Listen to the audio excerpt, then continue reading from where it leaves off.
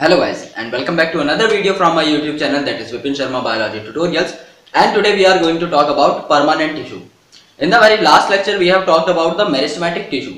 तो meristematic tissue क्या थे? They are the actively dividing cells.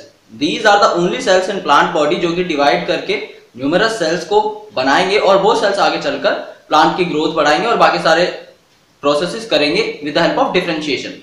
क्योंकि जो सेल्स बनेंगे वो डिफ्रेंशिएट होकर अलग अलग तरीके के ऑर्गन्स बना लेंगे अलग अलग तरीके के टिश्यूज बना लेंगे, जो कि आगे चलकर बहुत सारे फ़ंक्शंस को परफॉर्म करेंगे. And the second kind of tissues जब वो डिफ्रेंशिएट हो जाएँगे तो वो बन जाएँगे परमानेंट टिश्यूज इसके बारे में हम बात कर चुके हैं. So the permanent tissues are non dividing cells they are already differentiated and they are actively performing some kind of function in plants body but ये डिवाइड नहीं करेंगे further so today we are going to talk about those permanent tissues permanent tissues भी दो तरीके के हो सकते हैं ओके अगर हम बात करें परमानेंट टिश्यूज की which do not divide further तो permanent tissues can be of two type one is simple and the next one is complex so, what are simple permanent tissues? Permanent tissue. Tissue means a group of cells.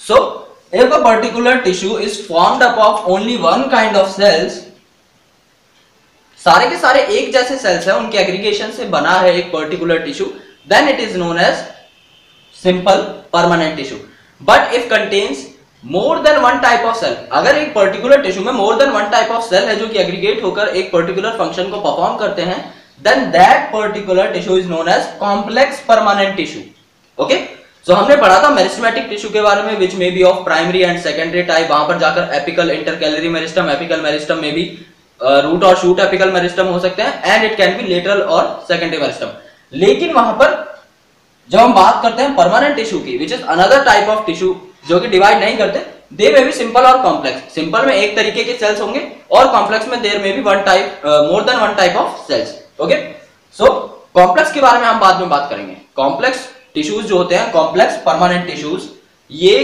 बहुत ही ज़्यादा important होते हैं in transport for example xylem and phloem are the important example of complex permanent tissues okay लेकिन जब हम बात करते हैं सिंपल परमानेंट टिश्यूज की सो ये दो पार्ट्स में तीन पार्ट्स में डिवाइडेड होते हैं.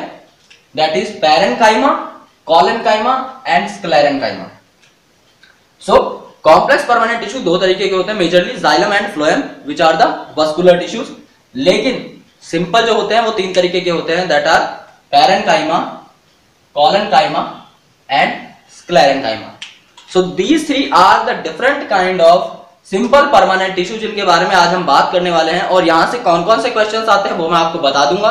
और वहाँ से क्वेश्चन आने की प्रोबेबिलिटी इस चैप्टर में बहुत ज़्यादा होती है। तो सबसे पहले बात करते हैं सबसे सिंपल टाइप के सेल के बारे में that is parenchyma parenchyma are most abundantly you know cells which are present in plant body plant body में जो सेल्स प्रेजेंट रहते हैं उनमें काफ़ी ज़्यादा अबंडेंट पैरेनकाइमा है अगर इन तीनों में से देखा जाए तो।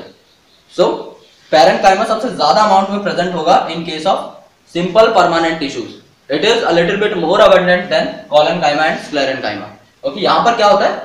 इस तरीके के सेल्स प्रेजेंट रहते हैं। इस तरीके के सेल्स प्रेजेंट रहते हैं which are isodiametric now what does isodiametric means सारे सेल्स एक जैसी शेप के होंगे। Okay that's quite simple so all the cells you are looking over here are circular they can be circular they can be oval they can be disc shape they can be polygonal they can be round किसी भी shape के cells हो सकते हैं लेकिन सारे sales एक जैसे होंगे this is a condition because these are isodiametric okay तो यहाँ पर हमने राउंड सेल्स लिए हैं these round cells are present together and the cell wall is quite thin cell wall is made up of cellulose and it is quite thin काफ़ी ज़्यादा पतली होती है तो इसका काम ज़्यादा रेजिस्टेंस रेजिस्टेंस का बिल्कुल भी नहीं होगा। क्योंकि रेजिस्टेंस के लिए हमें चाहिए थिक सेल वॉल या फिर उसके ऊपर किसी चीज़ की डिपोजिशन हो सेल वॉल के ऊपर, जिससे कि वो रेजिस्टेंस प्रोवाइड कर सके। But in this case there is no thick cell wall और cell wall is formed up of cellulose तो इसका प्रोटेक्शन में ज़्यादा कोई काम नहीं है। They do have intercellular spaces ज़रूरी नहीं कि इंटरसेलुलर स्पेसेस होंगे, लेकिन हो भी सकते हैं। So this space between different kind of cells is known as intercellular space. Inter means in between. So, between two cells, if this is one cell, this is one cell, then this particular space is present in between those cells, right? So intercellular space यहाँ पर present हो सकते हैं। बाकी सारे cases में intercellular space मिलने के चांसेस काफ़ी कम होते हैं। फॉर एग्ज़ाम्पल यहाँ पर दिस इज़ कॉलन काइमा काइमा में स्टार लाइक शेप है दिस इज़ पेंटागोनल सेल तो ऐसे करके अगर आप देखेंगे तो यहाँ पर भी ऐसा ही सेल प्रेजेंट होगा। ये इतने ज़्यादा टाइटली बाउंड होते हैं that there is no intercellular space okay so ऐसे करके यहाँ पर इंटरसेलुलर स्पेसेस होने के चांसेस काफ़ी कम रहते हैं but in case of parenchyma the intercellular spaces may be present okay काफ़ी केसेस में नहीं भी हो सकता इंटरसेलुलर स्पेस प्रेजेंट बट हो भी सकता है. So it may be present now what are the important functions of parenchymatous cell parenchyma है तो फोटोसिंथेसिस भी शो कर सकता है. ये सेल्स हैं आपस में फोटोसिंथेसिस शो कर सकते हैं। दे हैव पिगमेंट्स और वो पिगमेंट्स आगे चल के फिर क्या बना सकते हैं? लाइट से केमिकल्स और वी कैन से लाइट से food which is generally sucrose so they use to convert light energy into chemical energy okay this is sunlight since we are talking about photosynthesis. So, they are utilizing sunlight to form chemicals. They may store that food. Okay? And they may do secretion of different kind of substances in plants. तो तीन major functions होते हैं parenchyma के। तो parenchyma की सारी properties अगर हम देखें तो क्या होंगी? सबसे पहले तो इसमें आइसोडायमेट्रिक सेल्स होते हैं जो कि किसी भी शेप के हो सकते हैं। The second most important thing is the cell wall is thin and it is formed up of cellulose now it may have intercellular spaces now when it comes to function तो ये photosynthesis show कर सकते हैं। ये storage कर सकते हैं food की। और ये सिक्रीशन कर सकते हैं of different kind of substances in case of plants this is all about parenchyma which are living cells okay these are living cells in nature ये डेड नहीं होते. क्योंकि आगे चलकर जब हम पढ़ेंगे काफ़ी सारे सेल्स के बारे में for example this is sclerenchyma यहाँ पर लिग्निन डिपॉजिट हो जाता है. And due to the lignin deposition ये काफ़ी ज़्यादा हार्ड हो जाते हैं and they do not live further तो ये डेड सेल्स होते हैं. तो ऐसे यहाँ पर बायफर्केट करें तो this are living cell these are living cells now the second category is collenchyma collenchyma भी काफ़ी सारी शेप्स के हो सकते हैं। They may be circular they may be oval they can be polygonal like this this is the polygonal shape okay so इस तरीके के सेल्स हो सकते हैं। नाउ ये प्रेजेंट कहाँ पर होते हैं? ये डायकॉट्स में प्रेजेंट होते हैं। अंडर एपिडर्मिस एपिडर्मिस क्या होता है? सबसे आउटर कवरिंग जो होती है दैट इज़ एपिडर्मिस एपिडर्मिस के जस्ट नीचे in case of dicots this is very important you can learn it as C D C for collenchyma and D for dicots okay so dicots में epidermis के नीचे ये present होंगे ये epidermis के नीचे जब प्रेजेंट होंगे तो एक यूनिफॉर्म लेयर के रूप में भी प्रेजेंट हो सकते हैं ये पैचेस में भी प्रेजेंट हो सकते हैं for example let me elaborate this one if this is a particular epidermis right for example this is an epidermis the collenchyma can be present like this okay this is a uniform layer of collenchyma or it may be present like this these are the patches of collenchyma so एक तो ये epidermis के नीचे present होगा in case of dicots and the second most important thing that it can be present as a uniform layer और it can be present as patches अलग अलग तरीके धब्बों की तरह प्रेजेंट हो सकता है इस तरीके से एपिडर्मिस के नीचे। Okay now in some cases जब कॉलन कायमा के पास क्या होंगे? क्लोरोप्लास्ट कुछ केसेस में कॉलन कायमा के पास क्लोरोप्लास्ट भी हो सकते हैं। वहाँ पर वो फोटोसिंथेसिस शो करने की कोशिश कर सकती है। लेकिन majorly they are assimilating the food okay so Jin particular cells में in not not in all collenchymatous cell chloroplast is present हर हर कॉलन कायमा में क्लोरोप्लास्ट प्रेजेंट नहीं होता। लेकिन जिनमें प्रेजेंट होगा, वहाँ पे वो एसिमिलेशन का काम करेगा। ओके तो it is not necessary that in every collenchyma cells chloroplast is present but जिनमें प्रेजेंट होगा, वहाँ पर it is doing the assimilation of food and it provides strength and how does it provide strength क्योंकि यहाँ पर हम देख रहे हैं एक polygonal structure at the corners of this polygonal polygon के कॉर्नर पे यहाँ पर होगा cellulose hemicellulose and pectin these are the three major compounds which are present at the corners of this polygon.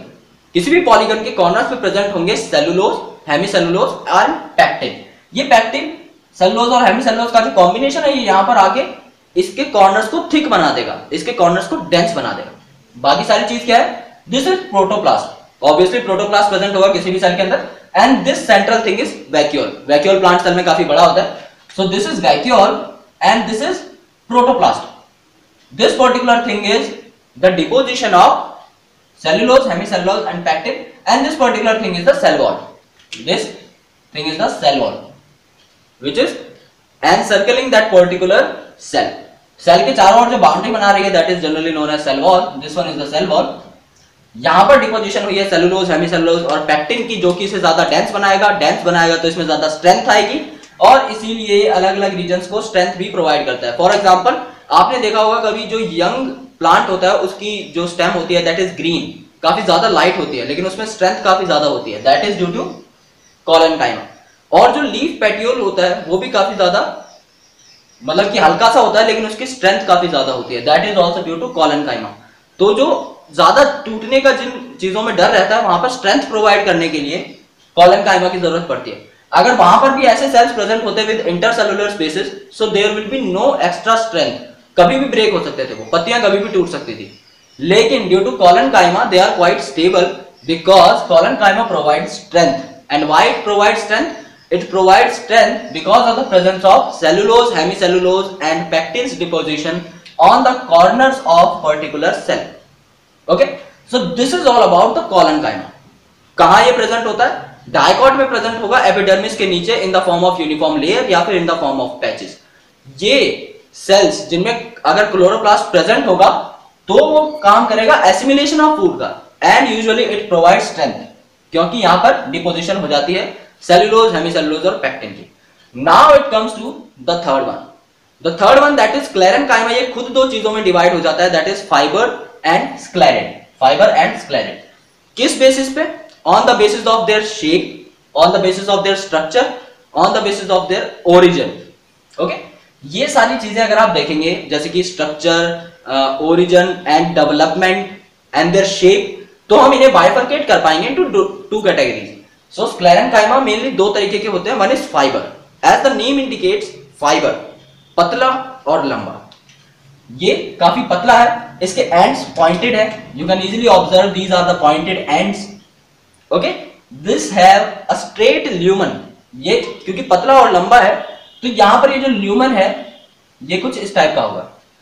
It is surrounded by a thick cell wall which is formed up of lignin. Okay? This is very important. Question कहाँ पर आता है? यहाँ पर आता है। Cellulose hemicellulose pectin यहाँ पर सेलुलोज यहाँ पर लिग्निन ओके ये स्ट्रेंथ प्रोवाइड करता है और क्लोरोप्लास्ट में एसिमिलेशन करवाएगा। एंड डायकॉट में प्रेजेंट होता है एपिडर्मिस के नीचे। ये सारी चीज़ें आएँगी। यहाँ पर ज़्यादा आने की कोई पर्टिकुलर चीज़ नहीं है इन पैरेंकाइमा बस एक क्वेश्चन आ सकता है कि ये सबसे ज़्यादा अबंडेंट है। In you know in terms of these three in तीनों में से सबसे ज़्यादा अबंडेंट ये है। ये डाइकॉट्स में पाया जाएगा क्लोरोप्लास्ट अगर इसमें होगा तो वो एसिमिलेशन करवाएगा फ़ूड की। And it provides strength okay for example you know petiole में लीफ पेटियोल में ये पाया जाएगा as well as thin stem में ये पाया जाएगा।